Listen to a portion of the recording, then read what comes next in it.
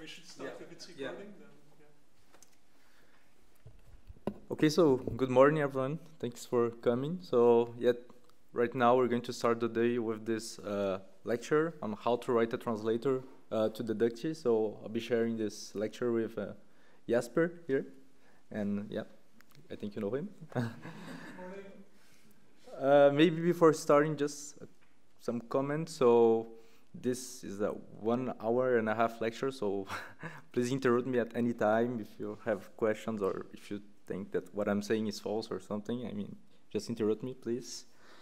And also, uh, well, this is techni technically a lecture, but I think that this is a bit of fake news because uh, there. Uh, I think that, I, well, I mean, I hope that you learn very a lot of things with this lecture, but I think that at the end uh, we don't have perfect uh, answers for everything. So uh, I, uh, it's lots of ongoing work at the same time, but other things we know more or less uh, better how to do. So yeah, this is also a discussion, I guess. Okay, so okay, so on previous talks, uh, for instance, on GeoTalk, you saw how to define theories in Dedukti and how in these theories to write some proofs. So for instance, you saw the theory U with usually yesterday. So the goal of this talk is uh, rather how to, to, to see how we can write automatic translators from proof assistants and yeah, which allows us to, to then translate such proofs automatically into a theory that we will define in Dedukti. So uh, yeah, this lecture, the name is How to Write a Translator into Dedukti, but of course that I haven't wrote all translators for all proof assistants, so I cannot teach you the general, all, all the problems that you find, but I, I hope I'll be able to give some general principles and also to do a case study of the Agda to the translator. So in Agda, we have a bunch of features that we usually find on type theory proof assistants. So I think that there are a lot of things there who can be reused if you're ever interested in writing, for instance, a translator from Lean to Dedukti, which we still don't have, so it would be interesting. Uh, okay, so this is the roadmap. Uh, yeah, like I said, I'll first talk about the general principles, and then we'll go a bit more on what is Agda and how to encode the different uh, things uh, in it, uh, in Dedukti, sorry. Uh, so yeah, so this is the general recipe. so uh, these are more or less uh, the steps that you would follow to to do it. So the step zero, which I'm putting at zero because it's not evident that this would be something that you would have to do, is to actually find uh, a, a, system, so really a formal system, so you can have the, the deduction rules and everything that correspond to the proof assistant logic and that's actually not that easy. I mean, uh, for instance, I, I, I, guess that for Coq, for, for instance, we can have many uh, definitions of the underlying logic in different papers, and sometimes you're not sure what really corresponds to it. And for, for, for, for the case of Agda, it's similar, so you end up like looking at all the documentation and trying to like re, uh, redo the, the, the, the, rules on your head and like trying to merge all the information that you get from the articles. So yeah, this is not, uh, uh, uh, this is a step that you, you, still have to make. It's not something that there's, that will probably be already for you. So once you have this clear in your head or in a piece of paper, then the, the following step would be to then define a Dedukti theory. So just to recall, uh, explained to us, or I think, no, sorry, Frederick explained to us yesterday what is a Dedukti theory. So it's a couple, we have a signature, so a signature is uh, a set of, or a sequence, like you, doesn't matter, of, uh, of constants and the types of these constants. And you also have a set of rewriting rules. So just to recall, these are untyped rewrite rules, but we ask them after to be uh, type preserving, but the rules it themselves are, are on types, so you cannot, for instance, match on the type or things like that. And this is what we call uh, a, a, Dedukti theory. So the goal here uh, of this first step is to define a theory that will express the logic the object logic of this proof assistant that we're trying to encode. So I'm using this notation uh, D, uh, D of also D of Dedukti, of course. Okay, and this, so you should be able to define a theory somehow, and uh, and then you should be able to define a translation. So a map that will take you from the terms of this object logic to the terms of the framework, in particular in the, the theory that we've just defined on step one. So this pair is what we would usually call an encoding. So you have the theory and the translation function. Uh, so this is the theoretical work. And if you get got until here, then now you need to to uh, to really do something hands-on and start implementing things. Uh, if you don't want to translate things by yourself, so you uh, one of the approaches that we normally have is to uh, reuse some of the proof assistant code. So you should be able to reuse some of the terms that in, are in the internal syntax. So you don't have, for instance, to uh, to read an Agda file and then redo all the elaboration for yourself. Uh, I'm not going to explain this very well now, but uh, yeah, Jesper will explain it when talking about the implementation of Agda to Dedukti. So yeah, but the, the general idea is to try to reuse some of the, the APIs and the tools offered by the proof assistant so to make this uh, step easier. Okay, so just uh, a little note here. Uh, I told you what is uh, encoding, but not encodings are not all encodings are created equal. So we have some criteria that uh, some of them are not always attainable, but it's good to have this image of like what are the properties that we might uh, want. So what we call soundness, it's basically the property that we always want to have. Uh, the fact that if we have a certain judgment in this object logic or the logic of the proof assistant, then when I'm encoding it on Dedukti, I want it to be able to preserve the typability relation. Of course, it would be very annoying if I have a proof on the that I'm translating that is correct, everything is well, and then I put in Dedukti and the Dedukti complains. So we don't want that, of course. Then we have the converse, the fact that the encoding is conservative. So to understand why we're using the word conservative here, you should probably think of A not as a type, but maybe as a proposition. Well, if you don't, well, if you, I mean, you can say that's always the same thing, or there is a embedding, or I mean. but the idea is that if you have a proof of A on your encoding, then you want your encode to be conservative. So the theory that you started with should also be able to, to prove A. So this is the, the this criteria. And at the very uh, top, so if you've uh, worked a bit with uh, Twelf and uh, LF, uh, like logical framework, so probably you've been a bit, you know this criteria of adequacy, so we would ask the translation function to be a compositional bijection between the object type and the encoded type. So Composition here just means that you, the substitution of the uh, object logic is represented by the one of the framework. So you have this commutation. I'll not really get into the details, but just to uh, to, to mention this. Uh, yeah, but generally in Dedukti we don't we, we don't we aren't that strict. I mean, uh, if your encoding is sound and conservative, then it's uh, you already be able to, to see that everything that you that you type check is correct, and if something is correct, then you can type check it. So we, we don't always need it, but just to, to be able to, to, to, to so just to, to mention this uh, criteria.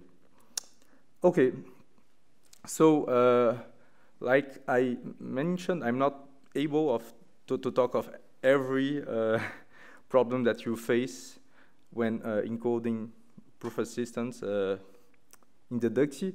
But uh, there are some families, some main features that we can find in some and not the others. And well, and the, dif the difficulty of encoding the, the, the, language of those proof assistants also going to depend on, on the features that we have. So for instance, we can have dependent types as we have in all type theoretic proof assistants, or also inductive types, which can come in different flavors if you're like in uh, Agda, you have inductive, recursive, and if you're all type theory, uh, proof assistant have like, I think also inductive families, but not on simply typed uh, proof assistants. Then you also have universe polymorphism, which we'll talk uh, about here uh, also. You have in also proof, proof type theoretic proof systems. Then you also have impredicativity, which is uh, very uh, omnipresent in everything except in Agda, which is, uh, I think is the only proof system that's being used now, which is not impredicative, and I think, uh, yeah, on, epigram, but epigram is, is not being uh, developed anymore, so it's a bit, but uh, it's used to be predicative. And you also have types of, of eta equality, so this can be only eta for the uh, arrow type or for general record types. This can, and irrelevance and definitional proof irrelevance, which is the same kind of problem, basically. And these are present in different shapes in different proof systems. So this is more the difficulty of encoding the, the theoretical part uh, of, yeah, this is the, the difficulties of really defining the, the encoding, but there are also uh, difficulties in implementing it. Uh, so if you're writing a, a translator from a system based on Curry Howard or on also yeah, type theory and then it's uh, generally easier because you already have a notion of proof terms and generally you can find them on the internal syntax. So you just need to look there and, and to translate them. Sometimes you have some information who won't be there. So in Agda, we'll see that this is a, a bit the case for sometimes. So you need to reconstruct it uh, yourself. But it's generally easier than, for instance, uh, proof assistants like Isabelle and HOL, in which uh, you don't really have this notion and you have uh, you really have to reconstruct the, the proof term from the, the, the proof derivations that are not represented at, as terms internally. Uh, well, terms of, I don't know, OCaml, but not of terms of the, the language. Yeah, as, as you know, in, in Dedukti, ev ev everything are, are terms, or proofs are terms, so this is something that we have to do. And actually, there's even other cases which are even more uh, radical. So we will see a, a bit. Uh, we'll see after the, the talk of Gabriel, who talk about PVS. And actually, in PVS, the proof derivations are not even uh, available on the internal syntax. So, I mean, it's really a, a, different kind of beast, and you have to, to look for other solutions. So yeah, you see that the implementation will also depend on, on the family of, of, of the proof assistant. So yeah, today we'll look more in the case of Agda, so I'll we'll stay more on the, on the first point here. But yeah, there are also some translators that we have from Isabelle or HOL, and they on this, the second family. Okay, so now I will call the specialist here who will explain to me what Agda is and to you too. Great, yeah. Um, so I'm taking over here. So Tiago gave a, um, a general introduction to this uh, kind of problem we want to solve. So um, in this talk, yeah, we're going to look specifically into Agda. And so I'm not going to assume that all of you are very familiar with Agda. So in, I think, just three or four slides, I'll try to give a, a general idea of what the what Agda is and what the theory behind this. Um, so what, what is Agda? It's a uh, dependently typed programming language and proof assistant. Um, so compared to uh, Coq, it's, it's a bit more heavy on the side of uh, programming language, but, uh, yeah, but you can use it as both. Uh, based on well, Martin-Löf type theory. Um, so it has uh, a bunch of features. So uh, it uh, relies quite heavily or uh, on index data types and dependent pattern matching. So that's really the primary way in which you write both programs and proofs in Agda, is by uh, defining data types or index data types and pattern matching on them. Um, and it has uh, yeah, it has uh, explicit universe polymorphism, so that's a bit of a difference. If you're used to the more implicit style of universe polymorphism in Coq, uh, you really have to explicitly quantify over universe levels if you want your definitions to be uh, universe polymorphism. And we'll, uh, we'll talk more about that later. Um, and then maybe the uh, most interesting part is the conversion, right? So, I mean, interesting part of any proof assistant. Um, so it, of course, uses uh, beta equality, uh, um, but then it also has uh, rather strong forms of uh, eta equality. So eta equality both for functions and record types. And uh, in particular, it supports eta equality for the unit type as well. Uh, and it also has a very strong form of uh, definitional proof irrelevance. So you can define proof objects to be definitional proof irrelevant so that any two proofs are identified. Um, so I think uh, from the point of view of uh, writing a translator from Agda to Dedukti, this is the very high level summary. Um, oh yeah, and I forgot to write it on this slide, but Tiago already mentioned this is a predicative language, so we do not support impredicativity. Um, so maybe it's easier with a, a, small example, right? So here's uh, two examples of data types in Agda. So uh, the first one is just uh, uh, disjoint union type or sum type. Um, and uh, so this is defined as a data type with two parameters of type set. So those are two types.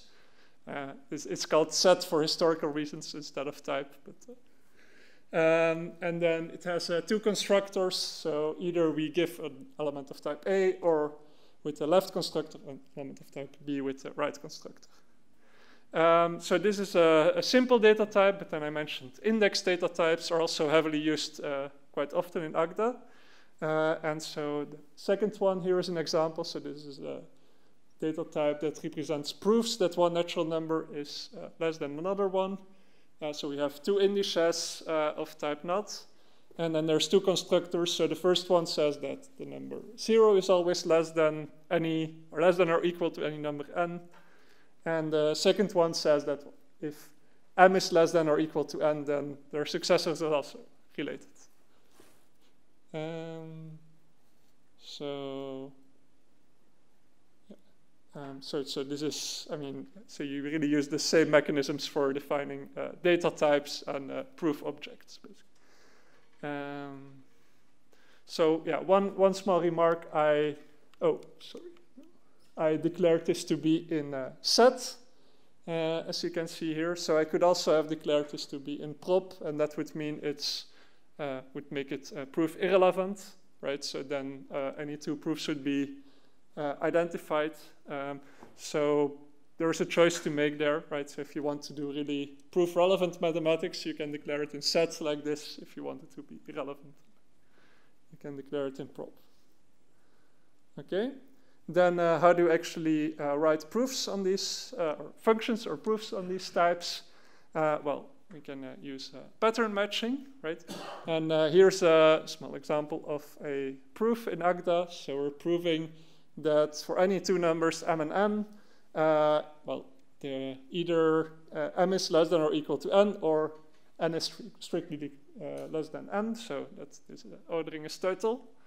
Um, and yeah, so the way we prove this is by pattern matching on the numbers. Uh, so we have uh, three cases. So either the first number is zero. Uh, in that case, we can use the, the left proof. Um, in the second case, well, we have the, the first number is a successor, and then the second number is either zero, in which case we can use right. Um, and then finally, in the third case, we have to make a recursive call. So I'm using this uh, with construct here to be able to pattern match on the uh, output of the recursive call. Right.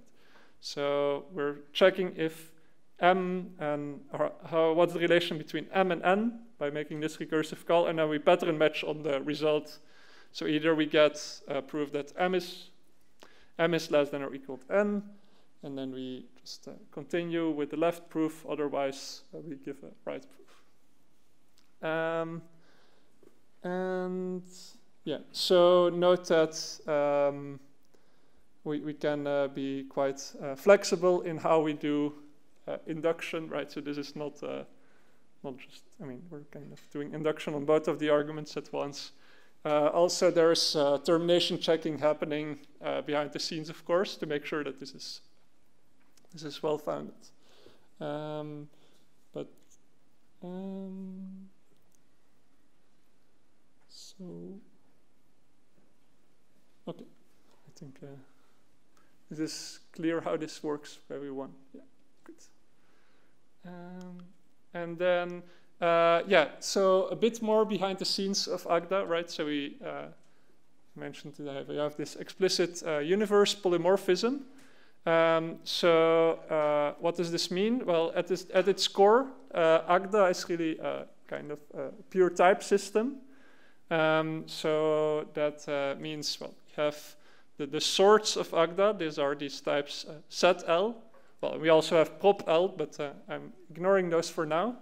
So um, we have a set L, and for, for each uh, universe level L, we have uh, a universe, right? Um, and so we can actually define these things uh, internally. So we can define for each level L, uh, we can define well, type set L, which has type set of successor of L right? Um, and we can also define a kind of a product type, so a function type from, or dependent function type from A to B, right?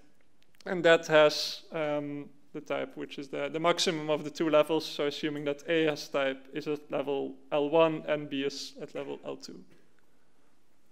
Um,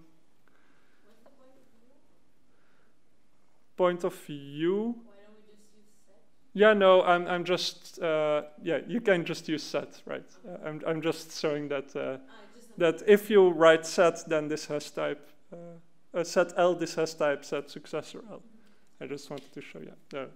there's, um, there's not really a, a reason for this. Uh, yeah. Um, yeah, um, and uh, so maybe let me also quickly uh, show you the, the demo file. Oh, sorry. Uh, that we're, I wanted to use for this um, for this talk, right? So I'll, I'll, come back to this later, but uh, just um, to show you, um, so I'll show you later what kind of output we get from this uh, from this file. Um, so I just have a bunch of small test cases here, I would say. Um, so we have this uh, disjoint union type that I showed and the then type. And uh, this compare function. Um, and then, oh yeah, so we'll, we'll come back to this example later. So this is um, example using universe polymorphism. So, um, right, so but this actually checks as, a, as an Agda file. Making it a bit larger, yes. Uh, Like this? Okay. Yeah. Um, so everything clear on what is Agda? Uh, so this, this is what we're starting from, and now uh, I think Tiago is going to come back and uh, talk about how we can actually uh, encode this uh, theory in Dedukti.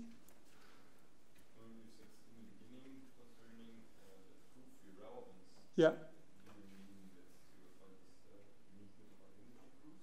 Um, so it depends, right? So you can define the identity type in set, which means that it is proof relevant, right? And that's the standard definition that you get in Agda.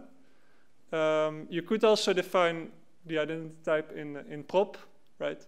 Um, so this will limit, uh, this will give you uniqueness of identity proofs for that type uh, but it will also limit how you can eliminate the identity type. So by default, you will not actually be able to prove, um, prove uh, substitution or J for this uh, proof irrelevant type. So you do not have uniqueness of identity proofs by default, but you can postulate it uh, if you want.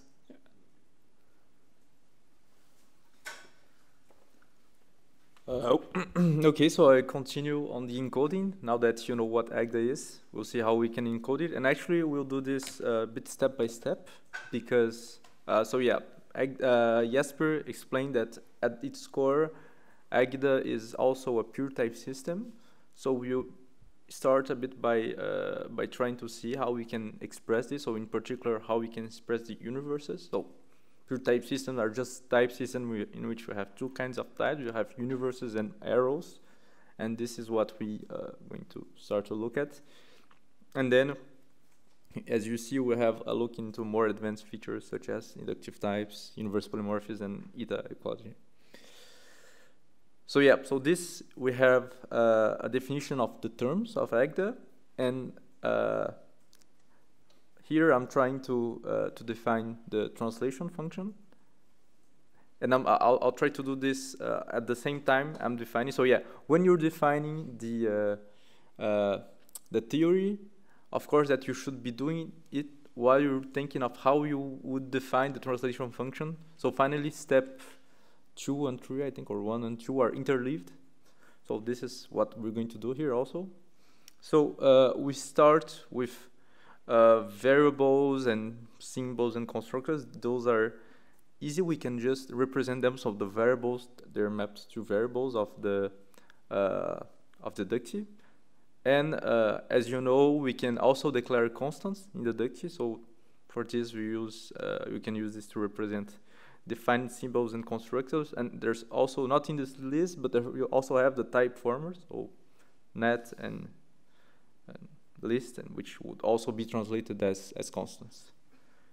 Uh, okay, and let's try to continue then. So uh, we well, one small remark for the constructors. Uh, Agda supports uh, constructor overloading, which Dedukti does not support. Uh, so each time we use a constructor, we need to qualify it using the, the name of the data type. Right? So we will not have just successor, but Nat a double underscore successor. Okay, Think, thanks for the remark. I forgot to mention it.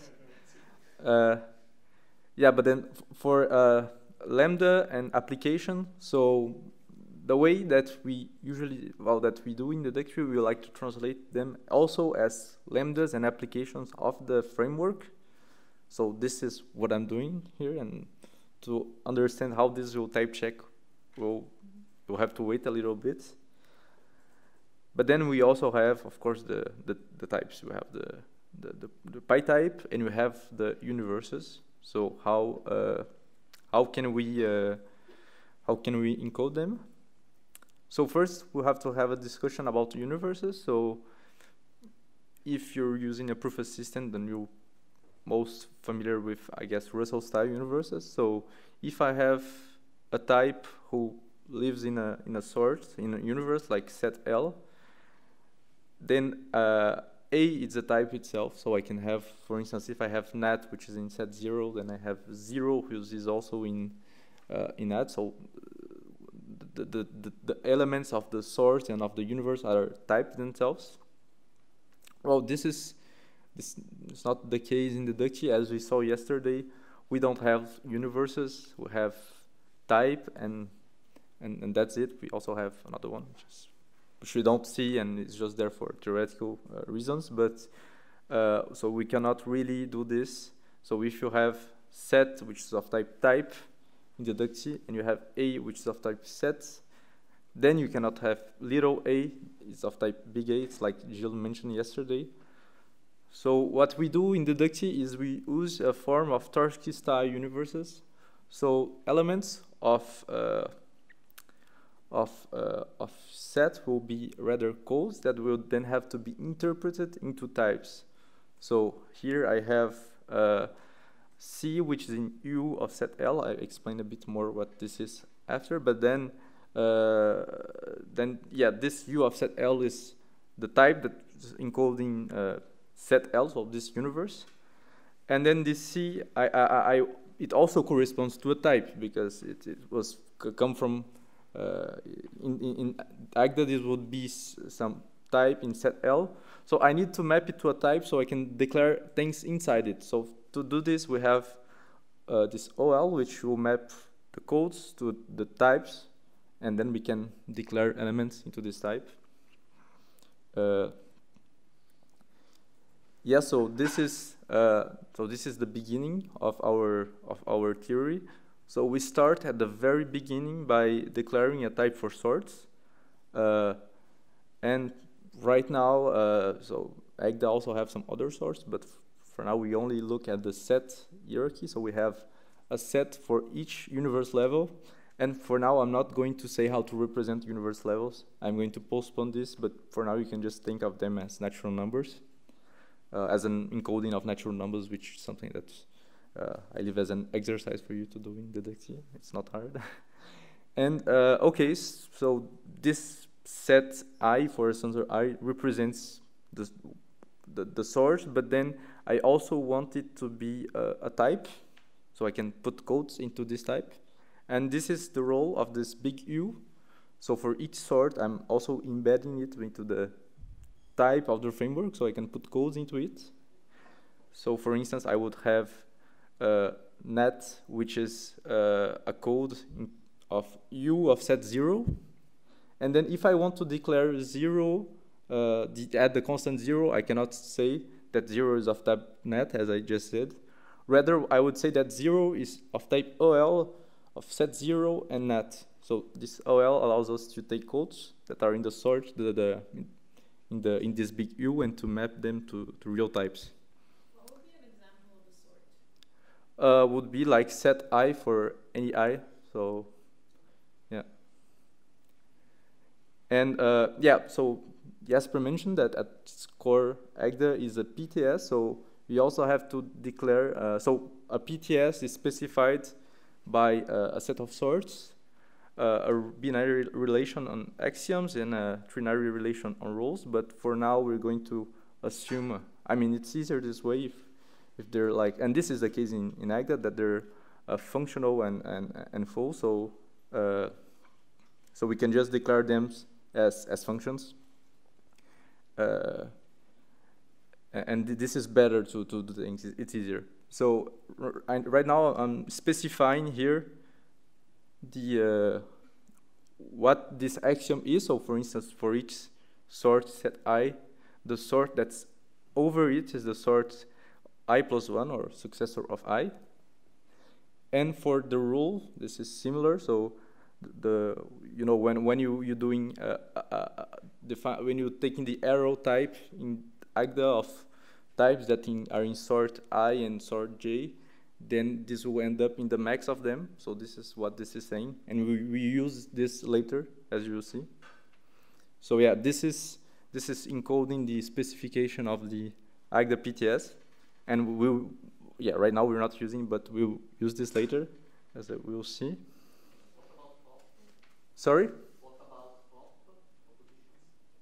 Uh, yeah, so right now uh, we're not encoding propositions, and as you'll see, for now we don't handle a definitional proof irrelevance on on our translation. So I mean, we co could always add the prop hierarchy, but it would like for a, an arbitrary proof, it would probably not take check because you might use definitional proof uh, irrelevance, and as this is not represented, you would just get an error. So yeah, for now I'm just focusing on basic Agda, you only have the set hierarchy and yeah. Are you saying that it's not implemented at all or that you're just not showing it? No, yeah, uh, it's not, we don't have yet a good way to represent definitional proof irrelevancy in uh, irrelevance in, in the Dedukti. So this is, is not only a, a technical problem, it's also a theoretical one, so yeah. Okay, so uh, so now, okay, I had postponed then the, the definition of the of the pi types. So what we want here is to have a constant that for each uh, code in U of SA, and well, this is a dependent arrow, so this B here will map each element of A to uh, a, a, new element in this, uh, to a new code in SB. So this is uh, what you should you should think of this arrow uh, as, as really saying that this U, this element of USB is defined in a context in which you extend with, with an element of type A. So This is what Gilles mentioned yesterday. This is high order abstract syntax. And then this should land, so you should add, get at the, the end the prod of this, so this is just the pi. And as now we are using the rule that we define just after, uh, just before, sorry. And this is the new universe that you, you're arriving. So uh, yeah, so once I have declared this constant, uh, uh, I still don't have anything that any, any type. Uh, eh, I'm sorry. When I, I, take the OL of this of this code for for a type, then I still don't have anything that lives on it. But I would like to have abstraction, so I can create a type, uh, a term into this type, and also application, so I can take uh, an abstraction, take a, a thing from an arrow type and use it. So uh, I could declare constant for constructor and destructor, and which would correspond to abstraction application.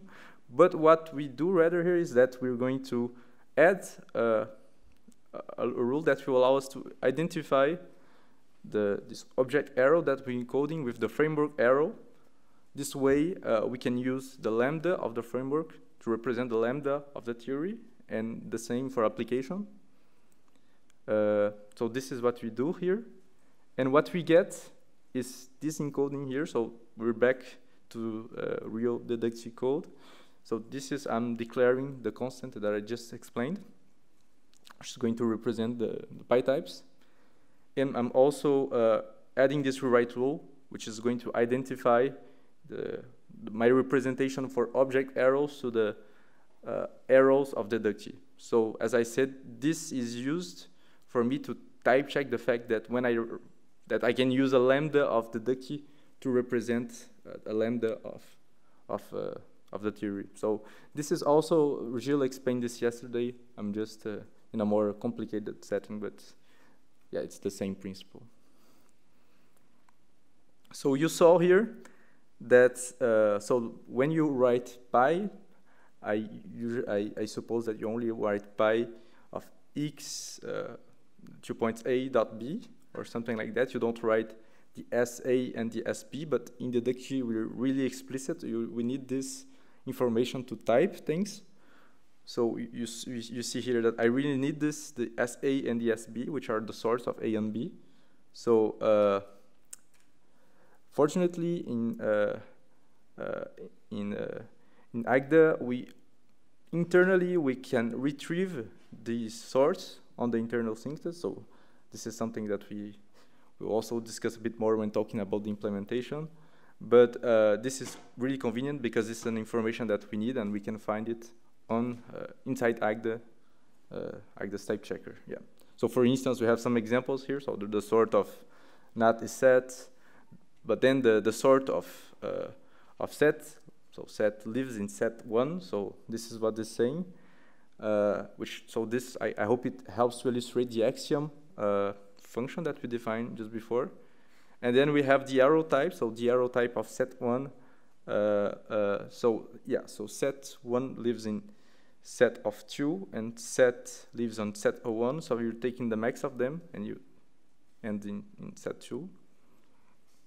This is maybe a bit confusing, but you have to remember that uh, you're actually looking at the types of, of set one. You're not looking at the index of, of one, you're looking at the type of it. Uh, okay, so now we have an answer for this part here. We now know we can just put prod and then we have the encoding of this of the sort of A and the encoding of the sort of B. Then we put A here, and like I said, we're using higher order abstract syntax. So to represent the binder of the of, of, of the pi type, we're using Dedukti's uh, uh, abstraction. And then here, I'm also adding uh, an encoding uh, of sorts. So we have this the representation of sorts, and just after we'll see the representation of sorts as terms. But this is just uh, the, the, the basic representation which lives on the type sort, which is the type the first type that we had defined. And here I just translated as expected. So I had this constant set. So I just put set and then I have this encoding of levels, which I'll also postpone. Uh, and then I, I just I just do this. So this is a bit expected. So let's see how uh, what I can put here for the translation of universe as terms. Uh, so we already saw that we can represent, uh, we have a type for source and we also have this big U uh, uh, here, which is, which is a type when, when I apply to it. But actually I, have, I want to have something that is a, really a term and that lives on an agda type. So how we, how we do this? Yeah. Uh, yeah. What's the benefit of defining this with where set L equals set L? So when you Yeah. say where, it's like a part of the rule that belongs to the pi type, right? Yeah, actually, I'll also use this uh, elsewhere, but I'm, I'm just saying that like this is an, an, another encoding function which I'm uh, I'm specifying at the same time, but like it's it's I could have defined it before everything. Uh, Okay, so you could make it a separate Dedukti rule, rewrite rule, without a problem. There's no benefit. uh, I'm sorry, th th this is not a rewrite rule. Uh, this is just the definition of the translation function. Uh, maybe I this was a bit of a confusing part, don't know, but this I'm just defining the the translation function. These are not rewrite rules. So when I uh, you oh yeah yeah when I define pi, I, I, I yeah, but so I, I I don't think I, I, I got your question. Then I'm sorry. Okay, so what's this where set L equals set of L? What's the point of where? Uh, I mean, I could just lift this and, and put at the very beginning and, and, and defining. So the, the, the, yeah, the, the point is that these are defined only for sorts. So this is the translation of, of terms, and this is the translation of sorts, so this is only defined for sorts. And because they have also this different representation in which they live on this type sort. So uh, yeah, I need to separate a bit the things because uh, on PTS is everything like it's mixed and like sorts are, also terms, but I, I need to start somewhere so I have some typing information and then I can put the terms. But uh, I have this initial representation of only sorts, and these are the things that will live on this type. Is it clear? So you have an operation bar, single bars, Yeah. which goes from elements of sorts to Two uh, elements of this type here.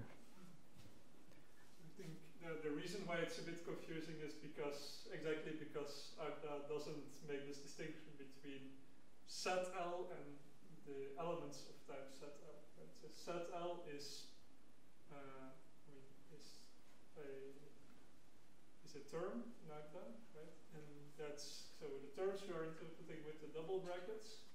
Um, but yeah, but the set L is also a sort in Agda, right? And uh, the sorts we are interpreting with these uh, vertical bars. Yeah.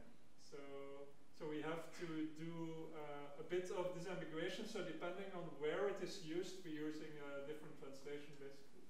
And uh, Okay, and, and we need we cannot use the same interpretation because in the Dedukti translation it's actually ending up in different sorts, right? So it's Yeah, either a sort or a yeah. Okay. yeah. Yeah, sorry. Uh, yeah, that's. th- thanks for for help. Yeah. Oh, uh, yeah. So, uh, I think I was here, yes. So, as I said, I also want a representation of sorts as terms of a, a certain agda type. So, what I'm, I'll do here is for each sort, each element of the type sort, which are representing sorts, I add this this constant u, u, little u, which will be mapping it to the this big U, which, which is really a type, and as we know, when you're in, if you take the sort sets, then you'll live in set one, uh, or set two. If set one is uh, well, if you take set one, then this will live in set two, and uh, the axiom here is the what we had defined before. So this means that U of set one will live in big U of set two, where the set two is also the the sort representation. And the thing is that here we, we end up with two representations for for some some sorts because uh, if I take, for instance, set two then it's also representation is represented as an element of uh, as a code of of sets. So yeah, if I have u of set one, by by looking here, will also be a code of u of set two. So when I apply OL to it, I'll have a type, but I also have a type corresponding to set two when I only write u of set two. So we have something that's that we need to identify here. And once again, we're going to use rewrite rules. So we're just going to add this rule saying that those are actually the same thing. Uh, this is also similar when we uh, were defining uh, universes in Martin-Löf type theory, and we we also add codes of universes inside universes, and then we identify them. Is the underscore in Dedukti an implicit argument? Or No, it's just saying that you can put anything on it. So I, I- could put here axiom of S, but uh, the, the thing is, is that for each well-typed instance of the left-hand side, this will always be convertible to axiom of S, you see? So I, I don't really need to, to put anything here.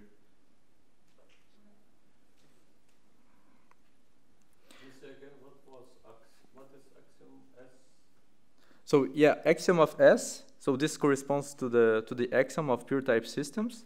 So we're mapping each representation of sort to the sort that's just over it. So if I'm, for instance, of set one, then by making axiom of set one, I'm going to set two. And I'm using this this this function when defining the little u here.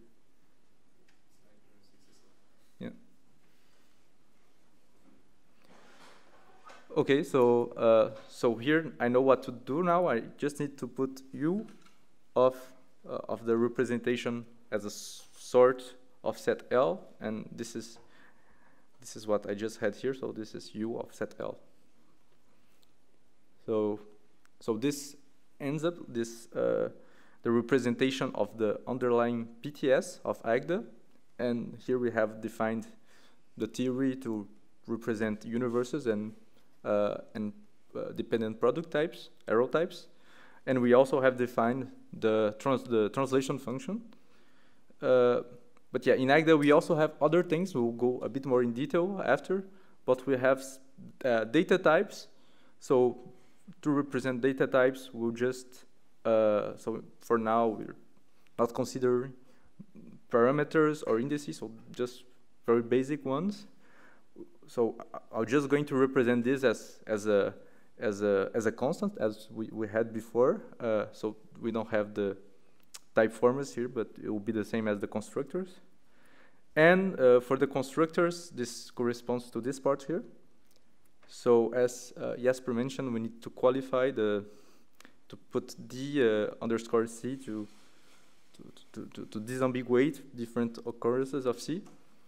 And yeah, so at the end, uh, both type formers and constructors can be represented as constants in Dedukti, and I, because, so here C is of type A, and when I translate A with this function here, so remember that this is going to give me a term, but because I want to declare something on A, then this is a term I cannot do it directly, I need to lift it to a type using the function OL to then say that DC is on this type.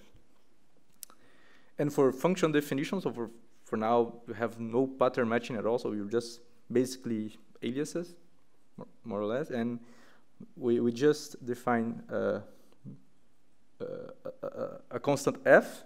So here, uh, as uh, Frederick explained yesterday, we put the def, so this symbol can be later defined.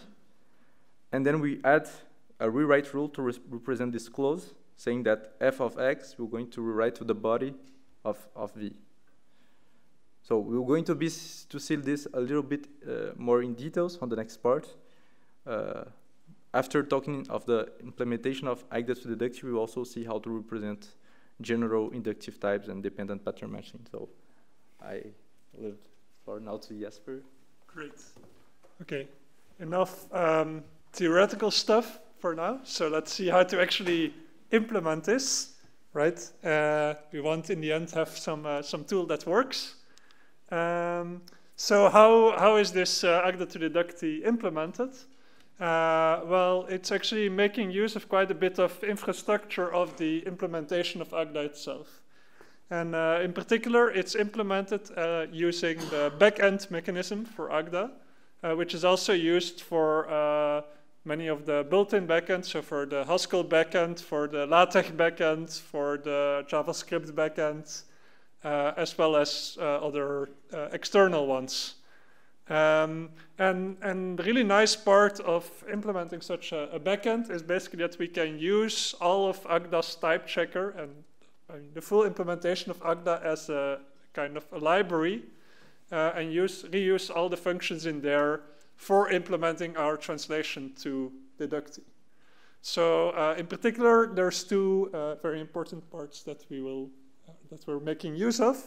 So first of all, there's the internal syntax representation of Agda, which is a kind of uh, very desugared uh, representation of the surface syntax uh, using de Bruijn indices and uh, where uh, yeah, most, I mean, many things have been uh, translated away already, so this is more convenient. you can think of it as a kind of a core language for Agda, even though it's not as well defined as Coq's core language. Um, and then uh, the second part we'll use is the type checking monad. So this is a monad that's used throughout the, uh, all of uh, Agda's code base. Um, so let, let me show you um, yeah, how this uh, Agda type checker actually uh, works. So here's the overall picture um, of, uh, of how the Agda type checker is implemented. Um, so we start with an uh, Agda file, right? And this is first, well, lexed and parsed, and then we get some representation in the, what Agda calls the concrete syntax. So this is uh, not processed in any way yet. Uh, the next step is, well, there's some uh, scope checking happening. So this uh, uh, will disambiguate any variable names and uh, make, I mean, identify them as, I mean, using some unique identifiers, right? So we know uh, we resolve any shadowing and such. Uh, then the next step, and I think the main step, is the, the type checking. So this elaborates this abstract syntax into the internal syntax of Agda. Um, and like I said, desugars uh, a lot of things. Uh, and then finally, there's some uh, things more related to the backend. So we do some optimizations, uh, erase proofs in prop and such, which ends up in the so-called uh, treeless syntax because it also translates away most of the pattern matching uh, or the, the, the, case trees. And then finally, you can run one of the backends on it. So for example, there's the MAlonzo backend, which produces then a Haskell file, which you can compile using uh, GHC to get a, a binary. Uh, so if we have this picture, so where does then the Agda to Dedukti backend come in? Uh, well, we're not really making use of this uh, treeless syntax and that, uh, anything that comes after. So we're basically branching off at, uh, at this point uh, when we have the internal syntax because that's the, well, the, the most convenient uh, place. It's the easiest language to, to encode. Um, I mean, if we would go later, then we would have erased too much information and we would have to reconstruct it. yeah, right. So. Yes. exactly. So, um, okay. Good. Um, so yeah, so here's the actual internal syntax, and uh, this is the, the Haskell, actual Haskell implementation.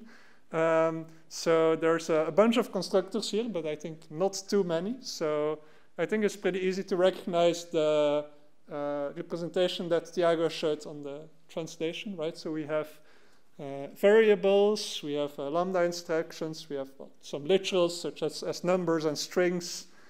Um, we have uh, function or defined functions, uh, so the defs. Um, we have then uh, constructors also. We have Pi types. We have well, we have sorts. We have uh, universe levels in the internal syntax, and then there are some things that are used mostly during the elaboration, but are not very uh, important uh, for this uh, purpose, right? So we just assume that they're not present in, in the syntax that we're translating. Yes, question? Yes, good question. So you notice that there's no constructor for function application. And uh, this is because uh, in this internal syntax, actually, this uh, enforced, this is always only representing beta normal forms. Uh, so in particular, uh, you notice these elims for the variables and for the defs and the cons. So these elims are basically a list of arguments that this uh, symbol is applied to. Right? So in particular, we cannot represent a uh, lambda abstraction applied to an argument. Right? So this is, uh, instead, this is eagerly reduced away in the internal syntax already. Uh, sometimes yes, yes. so most of the time it's fine, but sometimes you want to, you, you lose some sharing. Uh, although, I mean, so since it is implemented in Haskell, Haskell has some uh, some sharing, but uh, yeah, you have to be careful to preserve it. Yeah. Yeah, fingers crossed, exactly. So, but yes, so we, we do have some uh, performance problems uh, with this sometimes. So been, uh, anyway, but this is the this is the syntax that we have at the moment.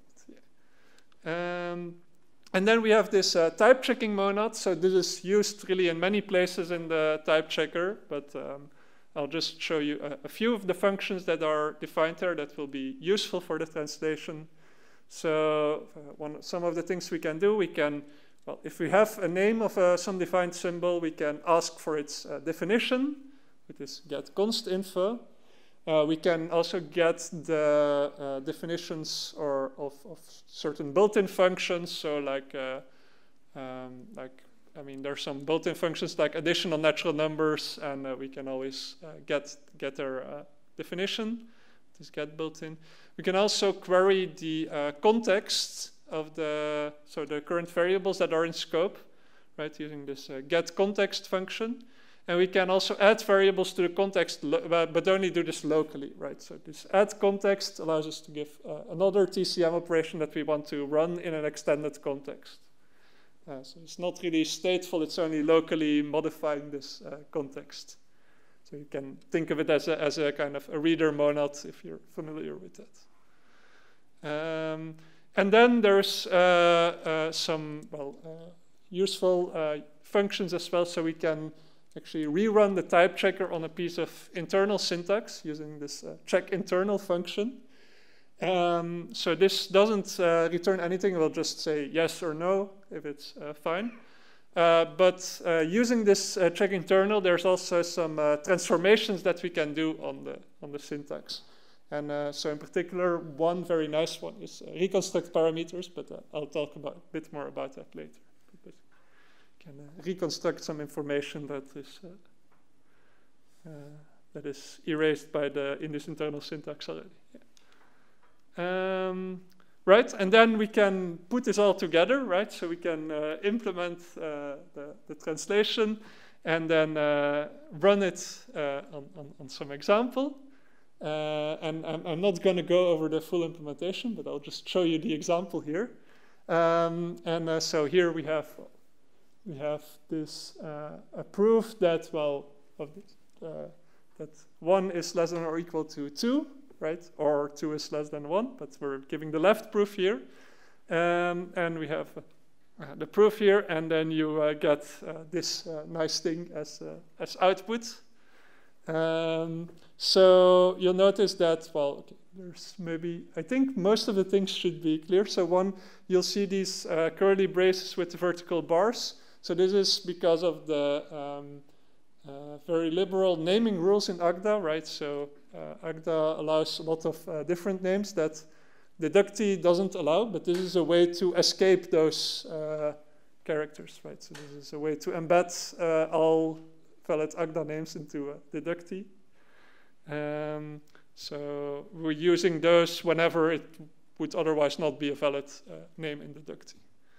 Um, and then you'll also see that, um, yeah, so that there's a lot of extra arguments that showed up here, right? So uh, for this less than or equal, for example, you see there's this uh, successor zero, successor, successor zero, uh, that don't really show up in the uh, term itself, right?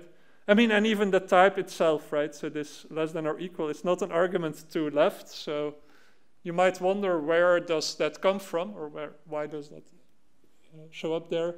Uh, and the answer is, of course, that we have already run the type checker on this. So Agda has actually elaborated the syntax, and these are uh, implicit arguments, but they become uh, explicit in the internal syntax, right? So this is the work that well we get for free. Agda already has done all the, the hard work for us, so you just uh, just translate.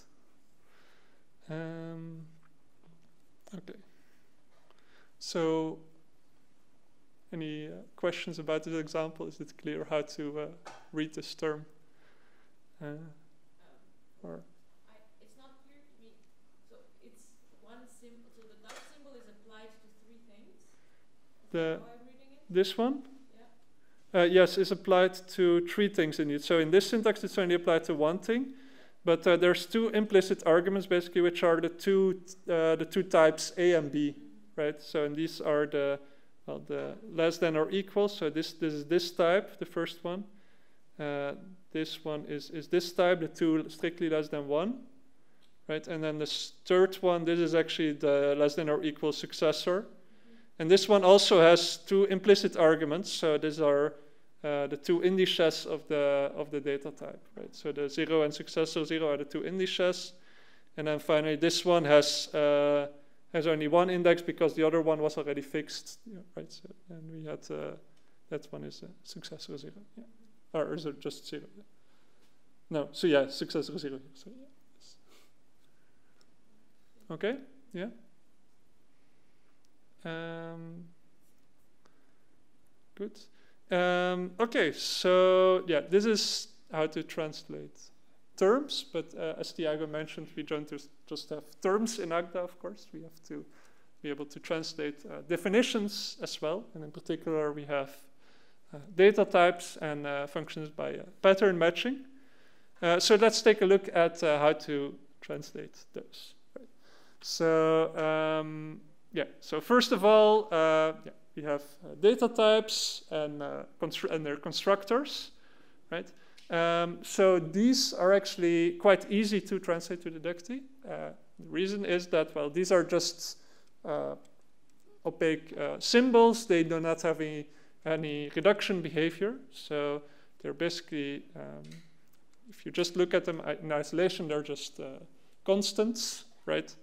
Um, and uh, so we can just translate them to constants in Dedukti. Okay. So, um, but of course we have to we have to give them a type, and uh, this type, well, we can get from Agda, and then run the translator that we had for for terms on it to get uh, to get this uh, output. So if you take it this uh, less than or equal example, right? So then, uh, we want to translate this, well, we get uh, three symbols. So we get the type itself and then the two constructors. Um, and each of those are elements. So the first one is an element of this function type from, from set. Uh, no, yeah, so yeah, you have to kind of ignore the first two arguments of prod because those are just the sort annotations.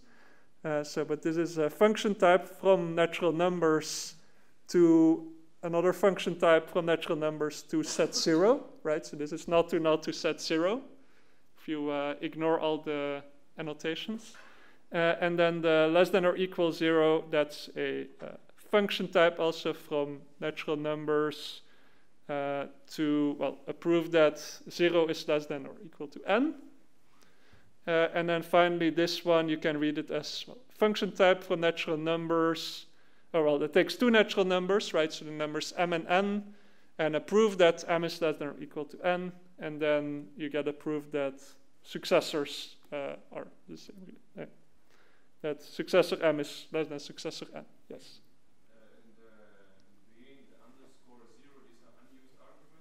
Uh, yes, indeed. So these are the unused arguments. I'm not sure why it adds the zero. You just could just write underscore, I guess. Or, yeah. So, um, oh yeah, no, I, I know why it is giving uh, adding the zero. Um, it's a bit of a technical detail. So it's possible that this argument was not given a name in the Agda source code, but some of the implicit arguments that were inferred by Agda do use the argument. So even if it was not named in the the function, we still have to give it a unique name so that we can use it for, for the implicit arguments. Yeah. Is the size of the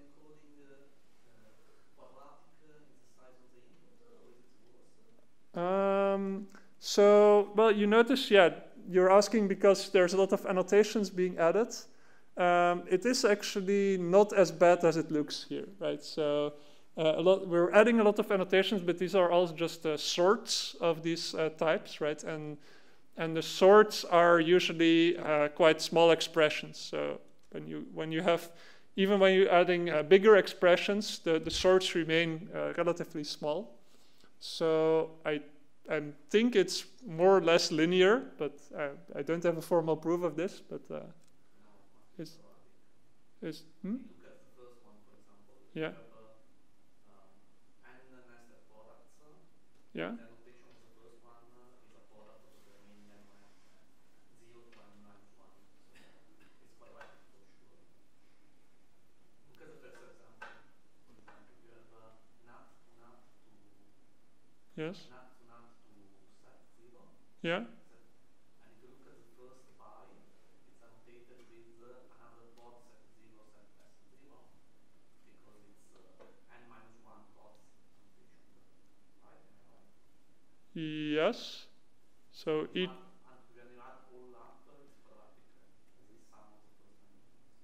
uh,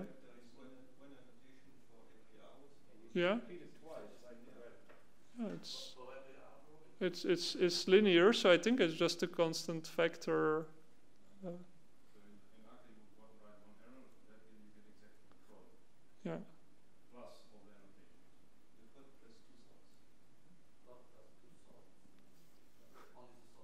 Yeah. Uh, but maybe we can discuss uh, later. Yeah. Um, so yeah. So this is uh, do uh, data types. Uh, then there's one uh, side note so relating to this reconstruct parameters that I mentioned earlier. Right. So if you have a constructor in Agda, uh, there's actually an optimization in the internal syntax, which is that it does not store the values of the parameters of the data type. So these are, theoretically speaking, these are arguments to, or implicit arguments to the constructor, but these are not stored uh, in the internal syntax uh, because we can always infer them from the from the type of this expression. Right? So, and Agda uses a kind of uh, bidirectional rule where these are in, in uh, not in inference mode, but in, in checked mode, so we can also always have the uh, type. Um, so uh, in the Dedukti representations, it's not possible. So we actually have to reconstruct these uh, implicit arguments for the parameters. Um, and this requires, well, because we get the parameters from the type, this requires a type-directed traversal of the uh, syntax. Um, uh, but uh, luckily, this is, I mean, also useful in other places already. So it was not the first time we needed to have uh, a thing like this. So uh, there's already a function in the Agda implementation that provides this functionality. So this this reconstruct parameters. So all we have to do is just uh, call this function before doing the actual translation, and we have access to all the arguments. So this is one of the nice benefits of uh, reusing uh, Agda as a library. Um, okay. And um, yeah, so just to uh, show, yeah, basically how this works. So uh, when we run the type checker, right, then uh, Agda will already infer these implicit arguments, right? So you'll see the, the zero and the one for this uh, less than successor and the one for the less than zero. But the left does not get any implicit arguments yet. But then we run this uh, uh, reconstruct parameters, and then we, it's, we also get the uh, extra arguments to this left constructor. And then that's what we uh, feed into the actual translation. Okay, so that's data type. So let's look at uh, function definitions next. And uh, in particular at uh, functions by uh, pattern matching, right? And uh, so all these functions in, uh, in Agda are just defined by, well, by a set of clauses, right? So each clause can do some pattern matching, some case analysis.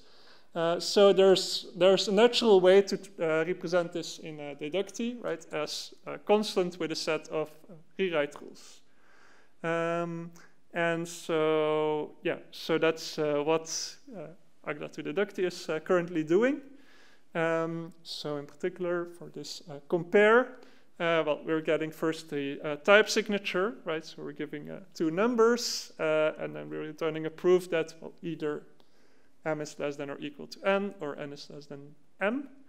And then you can see all the clauses. So there's three clauses in this definition, right? So you can see the first one where it's pattern matching on zero, and then the second and third one are pattern matching successor, and then having a zero or successor for the second argument.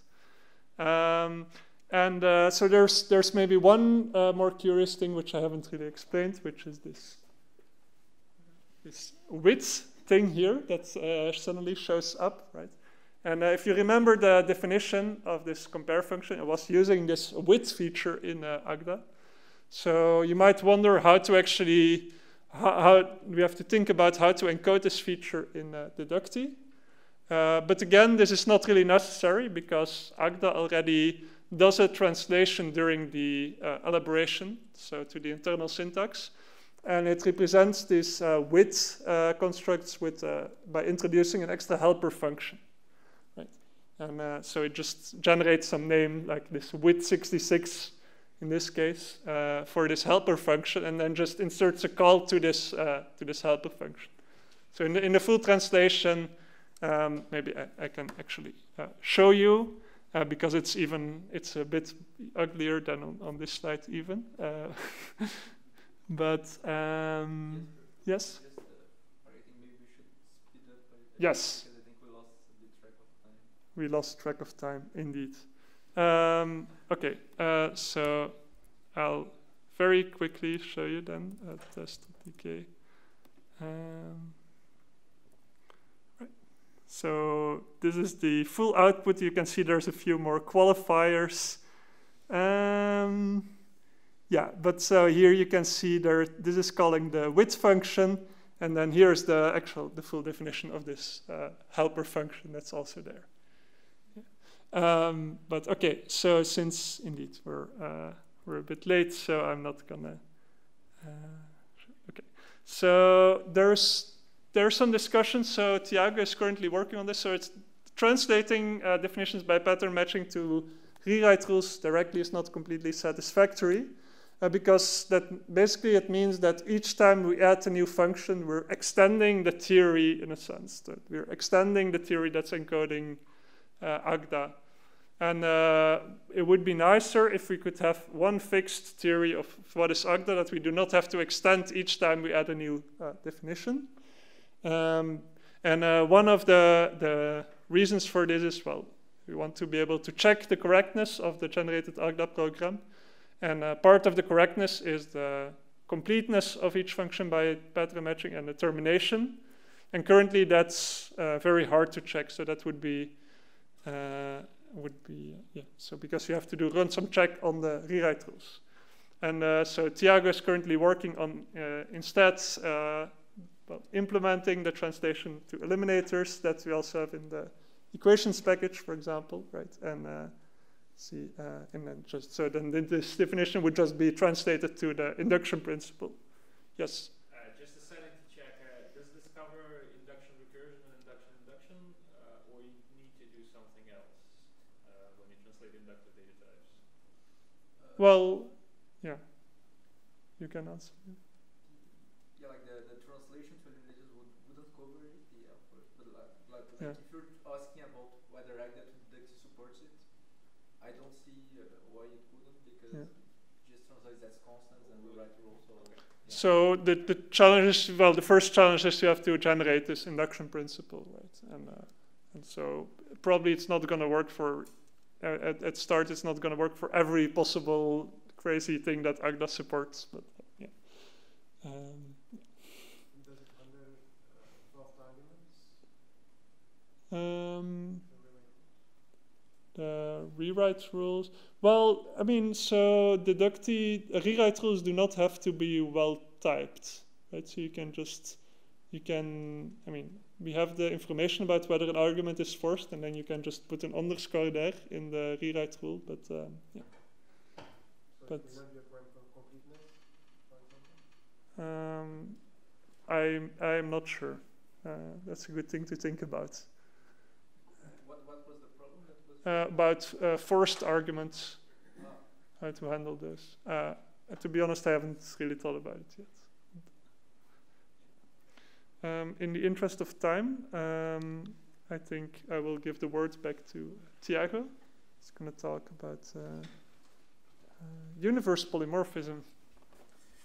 Thanks. So I'll try to do this a bit quicker than I had hoped for, but yeah, sorry. I think it's my fault. I ended up spending lots of time on other sections. So universe polymorphism. So sometimes we wish to use a definition at multiple levels. So for instance, uh, I would like to have list of natural numbers, but also list of types in set zero. So what is the bad solution to this? I can define manually a new list i for each level i. Well, not for each one, but for some number of, let's say 10.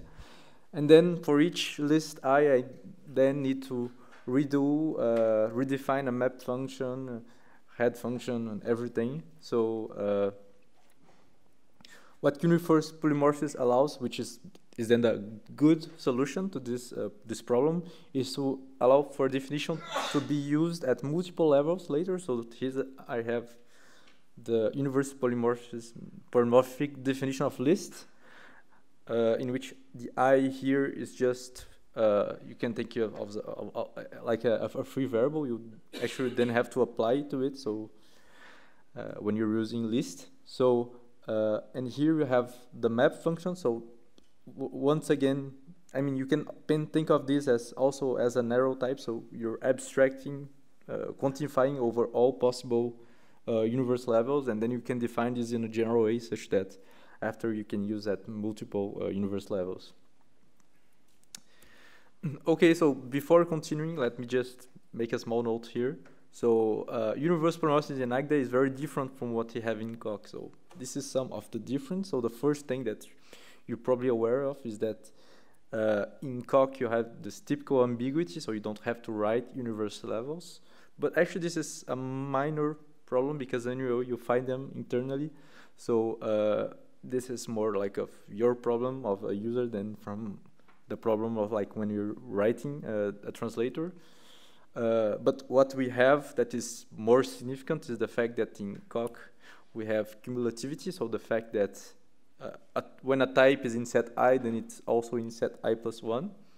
So this means that the meta theory is a bit more uh, uh, complicated and encoding in Dedukti is a bit comp more complicated also.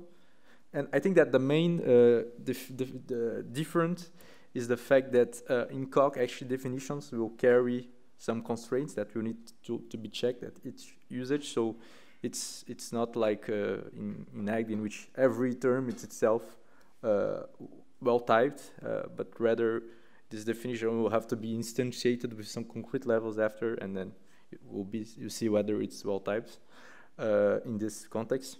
But well, this is uh, maybe a bit too technical, so I just wanted to mention this. And this talk will look at the Agda version of it. And if you're interested on the Coq version, you can look at Gaspard uh, Férey PhD thesis, which defended, uh, uh, guess last year, or yeah. So uh, okay, so the idea here uh, of the encoding in uh, in Dedukti is that we're going some way to generalize the encoding that we already had for the arrow type. So actually, yeah, before I'll, I'll define a new sort for universe polymorphic definition. So this is set omega. If you already used universe polymorphism in Agda, then you probably already know it. Uh, this, so this represents the set omega. Uh, and then I'm going to add this, uh, this for all constants, which is representing the quantification over universe levels. Uh, and what I'm saying, so go a bit fast over this, but um, the, the, this, uh, this rewrite rule is just like the rewrite rule that we had before, identifying the representation of functions with the framework functions. Here it's similar, we're identifying the, so the elements of the for all as uh, functions which will take some universe level and to which one we will map uh, a term in a certain type. So, for instance, this this as you see, there's a dependency on the universe level. So uh, this represents the fact that this definition, the resulting definition, will live in a different universe depending to uh, depending on the i that you give here. Uh, yeah, so like I said, uh, an encoding is uh, both a theory and a translation function. So this is the the translation function. Yeah, so because we have this rule identifying it with the arrow type of Dedukti, then just application with a level gets translated with in the frameworks application and the same for uh, abstracting over universe levels.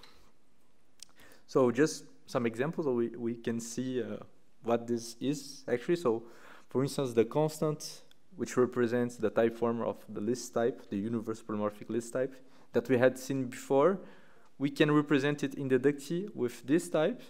So here we have the for all quantifying over all uh, universe levels. And then, uh, so here are the sort annotations as we had seen before.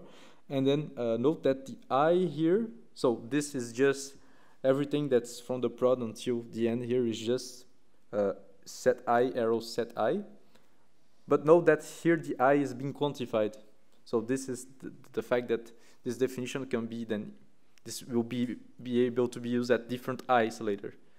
And actually, when applying the rewrite rules that we've already seen, this computes as expected to, uh, so it's a function which, the, to the type of functions that uh, for each level, uh, uh you'll take then a, a, a, a, code in a, cert, in a certain universe and then return uh, another code in the same universe. So this is the fact of if you use list at the type at the level one, so you take something of a type in set uh, one, and then you return another type in set one. So you return, for instance, list of A if A is in set one. And yeah, so this is what we uh, were expecting. Uh, so yeah, so note that until now, I I told you to not think about universe levels. These are just natural numbers, but this is actually the easy story. and now we are going to enter a bit on the details. I'll have to be a bit fast, but yeah. Uh, so uh, the levels are given by the syntax here, so looks easy, well, but the, the thing is that the levels are not freely generated, so they're going to satisfy some definitional equalities.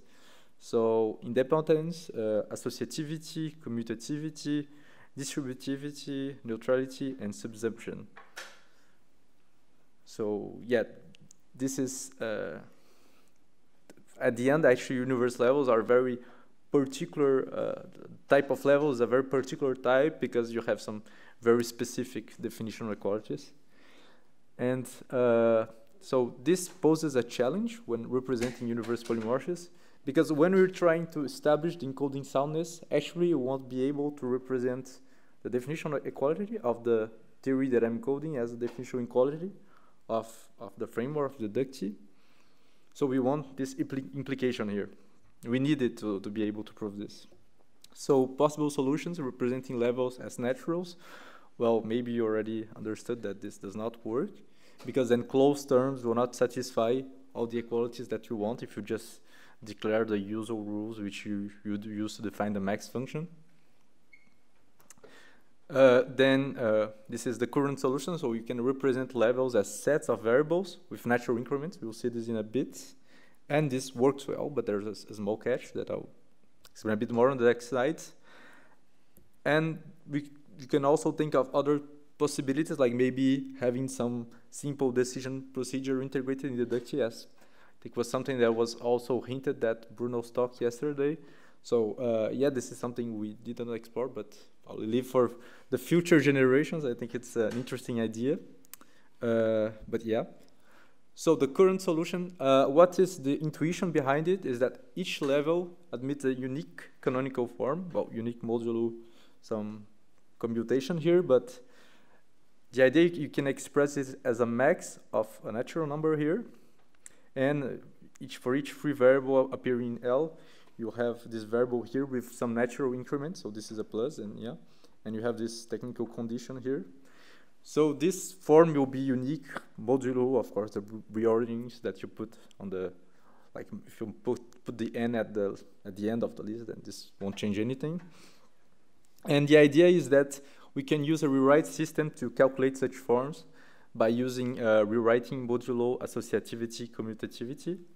Uh, so this means that we add uh, uh, uh, rewriting modulo associativity commutativity means that we're going to declare a symbol as associative commutative and it will add to the equational, to the definitional uh, equality, the fact that it satisfies those two identities. And then we, we do rewriting modulo this. Uh, yeah. Uh, and so yeah, there's a catch, as I said, is that idempotence and subsumption require a, a nonlinear rule because when you're taking a max and you have the same variable appearing two times, then actually you need to, to, to do something to, to make it appear just one. And yeah, nonlinear rules, they're not a good idea because they break confluence on preterms and generally this prevents proving some better properties of the encodings. There are some uh, uh, uh, some ways of handling this, but this is yeah, non non-linear rules are a bit of a of a pain. So yeah. And commutativity isn't? Uh, I mean, I mean, mm, if you're adding commutativity as a rewrite. No, no, yeah, I'm sorry. You're not adding as a rewrite rule. That's the point. So uh, you're doing rewriting modulo this. So indeed, you cannot add uh, commutativity as a rewrite rule. Otherwise, uh, you're going to just exchange forever the two. So this is why. So associativity, you could add it as a rewrite rule, but uh, for commutativity, there are really no uh, easy way. So one of the uh, types of rewriting that is already well studied is rewriting associative, uh, modulo associative to commutativity.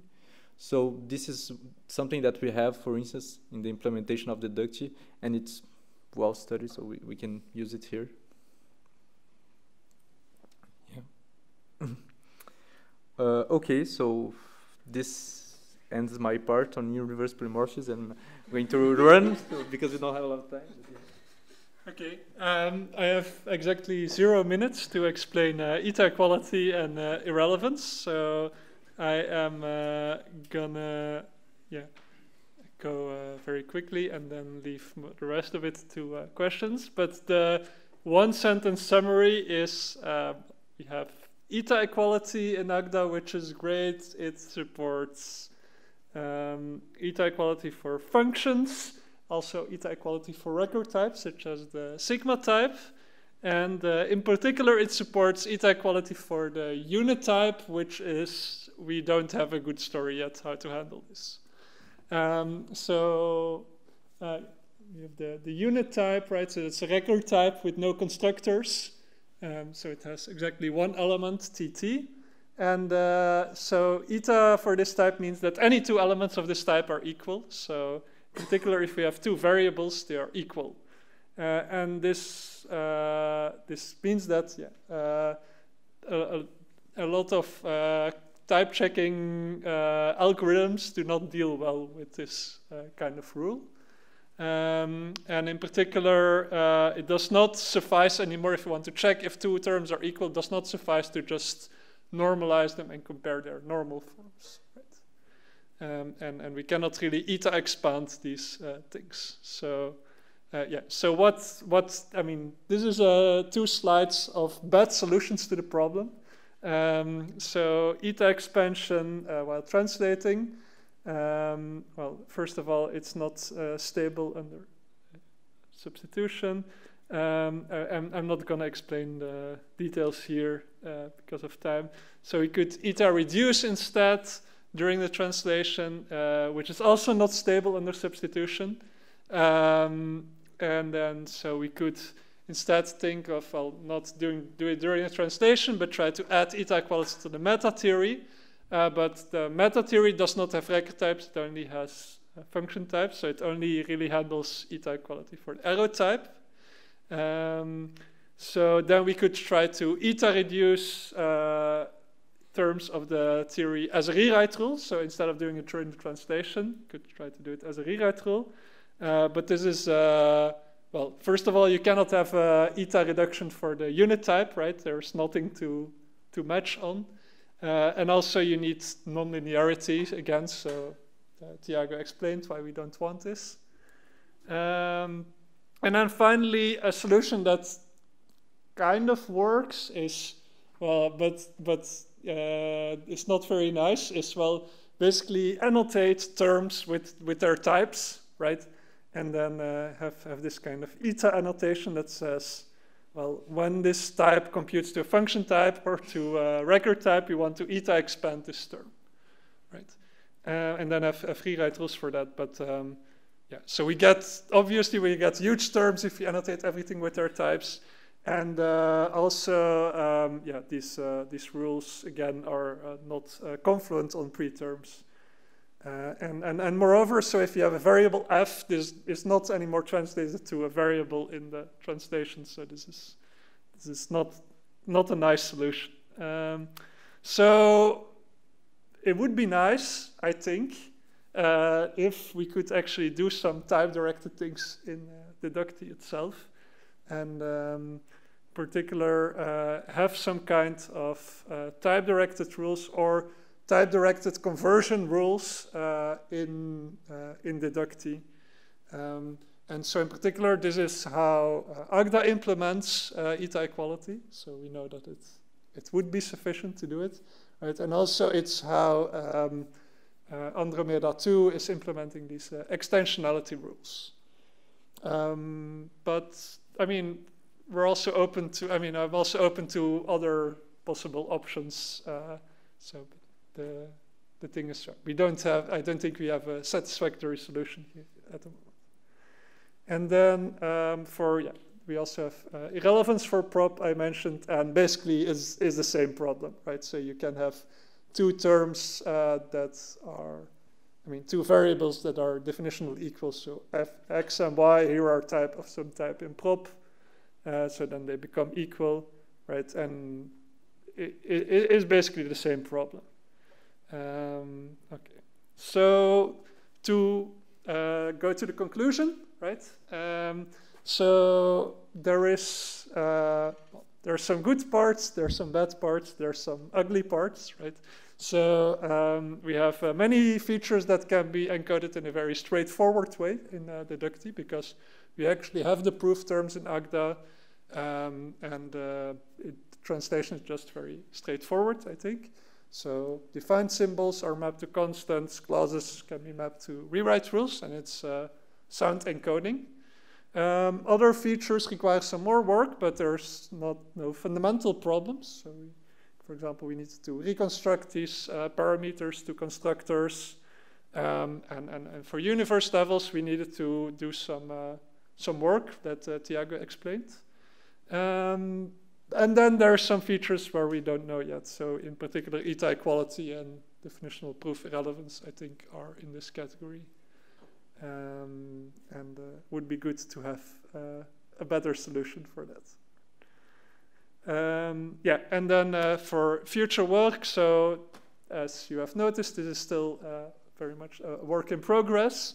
Uh, so Thiago is at the moment working on the compilation of clauses to elimination principles, and uh, so that's to get more satisfactory encoding of definitions by pattern matching.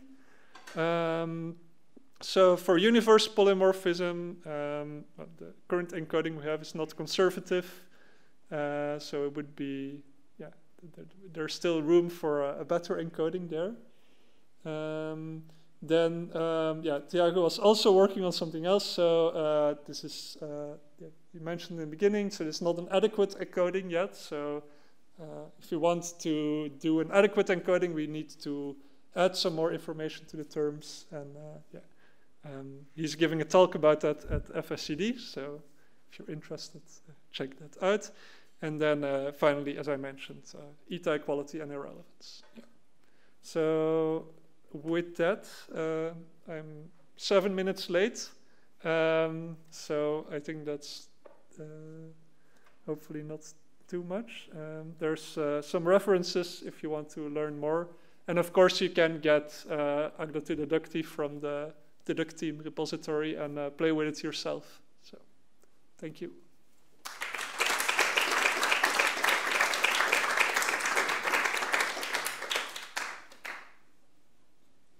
Maybe we have time for one or two questions. I don't know. Yeah, Henning? Uh, Mostly I would want to have your thoughts on interoperability now. So Yeah. basically the way uh, data types are translated is into constant plus uh, there will be rules or in the future you want to have induction schemes rather. Right. Uh, now I imagine I would, would like to translate that into say Coq. How would I find out that what kind of data type I have to declare in Coq from what you're, what you're translated? Right. Is S- there a good solution to that?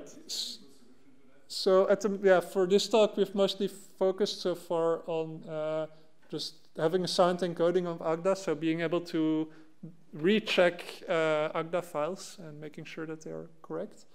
Um, so um, if you actually want to do this, then yeah you would have to find uh, some kind of uh, encoding of your data types, right? That can be then mapped to the Coq representation of data types. You need to, Uh, yeah. have some information that you keep, like the fact that this is this constant represents to a type form and, and that this uh, constant is a type uh, is a constructor of a certain Yeah. type. And I, I think that the work on uh, eliminating uh, on implementing the translation from pattern matching is particularly interesting because in Agda, so as we saw, so functions are defined by clauses. So if you just have some clauses, you cannot define directly a, a, Coq function, whereas every uh, proof assistant based on type theory will al- always have some elimination principle. So if we have proofs and terms which are defined using directly those, we can just take the elimination principles in Coq and use it on the term. But indeed, there's some information that needs to be kept if you go into to, to another proof assistant. Yeah.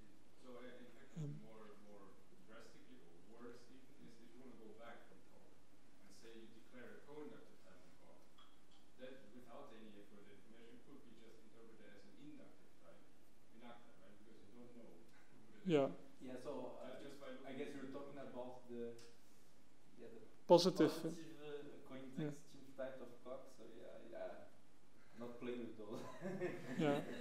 Um, or I will tell it, I yeah. mean, it's not, I don't expect any solution, I Yeah. was just thinking if you Yeah. have a So one one other solution would be to go through a, a universe of data types, right? So there's uh, work uh, on uh, encoding uh, universes of uh, data types, and actually, uh, so my PhD student uh, Lucas Escot has a ICFP paper this year on uh, encoding a large class of uh, Agda data types. So uh, in uh, as as a as a universe, right? So that would be one. So if, if you can then implement that same universe in Coq, say, right, then you can uh, do the translation via that. So that would be sort of a standard library, let's say, of Dedukti of, uh, of the universe that you can use to translate your own. uh, Yes, that would be, yeah. Then you have automatic. And then you have, maybe you can, I mean, maybe not every proof assistant would support this full universe, but you could define a predicate of, for each system, right, this is the class of,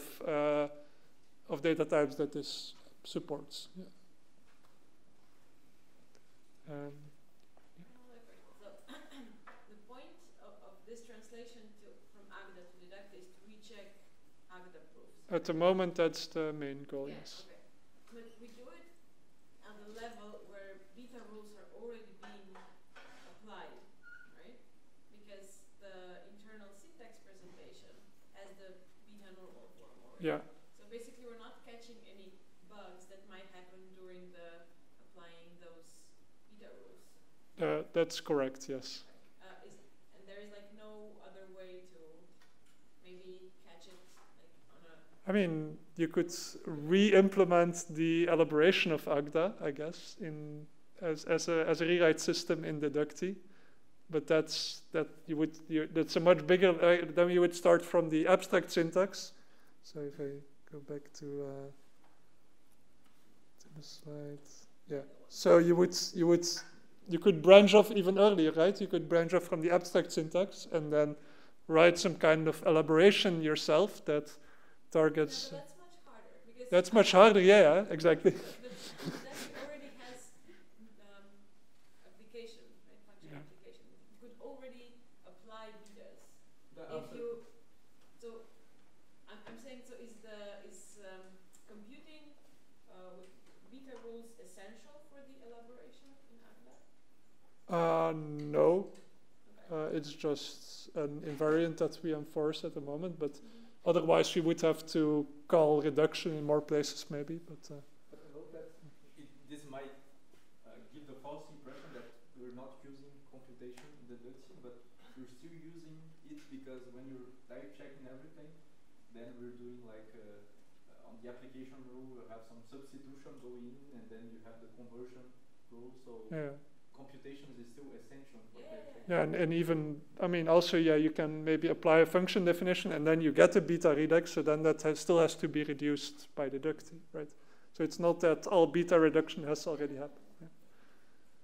And then second question is, what about the uh, rewrite rules that you can add to Agda? Um, yeah, so, so in theory, these are quite similar to what we have in Dedukti. Uh, so with the main difference, again, that they use uh, uh, a typed matching algorithm, right? So to deal with uh, eta equality for record types um, properly. Um, So some of those maybe could be um, like Yes. could be implemented in the It translation. could be uh, implemented in a very similar way. Yeah, you could map them to rewrite rules in rewrite Dedukti. Yeah. So then, I mean, so as long as you're not relying on eta equality for records, it would uh, be a sound translation, I think. Yeah. How is eta equality dealt with in the internals of Agda? By using typed conversion. So essentially, that means that in Agda you work with terms plus types. No, so uh, the reduction is not uh, typed, right? So we can reduce untyped syntax in Agda, but the conversion, so if we're comparing two types, to two terms, then we always have to know what type are we comparing them at. Ah, it's not done by rewriting, but Well, it's it's like uh, it, it's it's uh, alternation between rewriting both sides of the equation, which is untyped, and then uh, looking at the type. Uh, so we rewrite to we get normal form, and then we look at the type to uh, to see um, how, how how they compare at that type. Uh, but you should uh, check uh, Anja's paper uh, on this because this is a very nice, uh, uh, very nice general framework for these kind of uh, conversion checkings. So maybe that should, it should somehow be done, that needs to be reflected in Dedukti. Yes, so that's that's one other solution, right? If you don't want to extend Dedukti, you could do a kind of a deeper embedding, right? You could have a def- define the syntax of Agda, and you can define the conversion checker as a rewrite system. You can always Uh, use Dedukti as a programming language. Yeah. And rewrite like this. Yeah, but but but the goal here is to have a kind of a shallow embedding, right? And then uh, that- Yeah, I mean, in some sense, in some sense, from the original type theory, of course, one could almost say, uh, in modular type theory, the judgment is S equals T of type A, yes, not S is of type A. well, yeah, but I think More- this is. less equalities in some sense. Yeah, this is the essential difference maybe between uh, MLTT and CIC, but, uh, uh, in a sense, or one of the big differences. It was mentioned yesterday, I think. Like the PTS like Yeah. So in MLTT we have typically, or in Agda-like systems we have typed conversion, and in uh, COC, so in CIC we have uh, untyped conversion.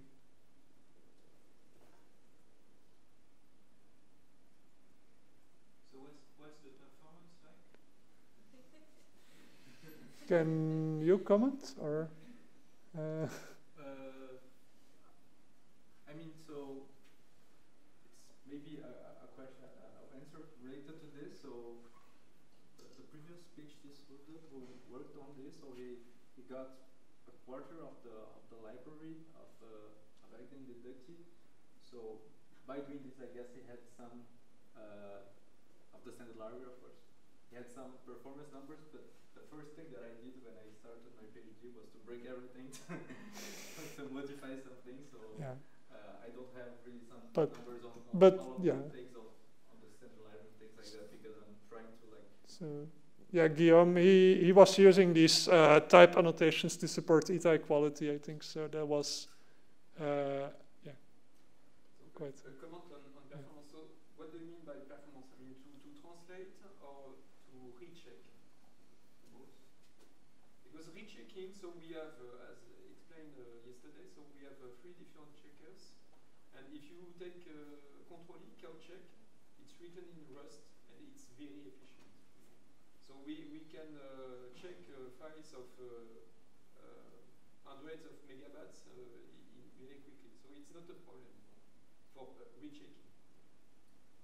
Well, maybe you could answer whether uh, rechecking the part of the Agda library uh, takes minutes, years, centuries.